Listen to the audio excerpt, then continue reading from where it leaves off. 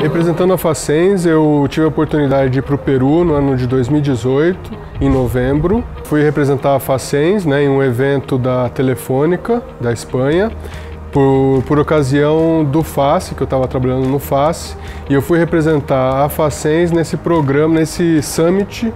da Telefônica sobre empreendedorismo e startups. Em termos profissionais foi muito interessante, muito enriquecedor, porque eu tive a oportunidade de conhecer o panorama e o ecossistema de inovação e empreendedorismo no Peru e tive a felicidade de saber que é, eles são muito avançados nessa área, principalmente na área relacionada a turismo, agronegócio e principalmente em questões e negócios que envolvam a sociedade e as questões sociais em si. E pessoalmente foi interessante porque além de conhecer um país com uma cultura super rica e muito mais antiga do que a nossa, eu tive a oportunidade também de conhecer a Universidade de São Marcos, que foi a primeira universidade a ser criada em solo americano no ano de 1551.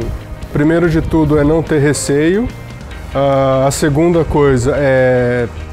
ter fé e força e determinação para você perseguir seus sonhos e não se limitar com barreiras que surjam pela sua frente, sejam impostas por pessoas ou por é, questões externas.